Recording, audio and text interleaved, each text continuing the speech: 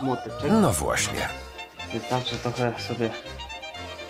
Śrubokręt, wiertarka, a teraz czas na tak. mocniejsze uderzenie. Myślę,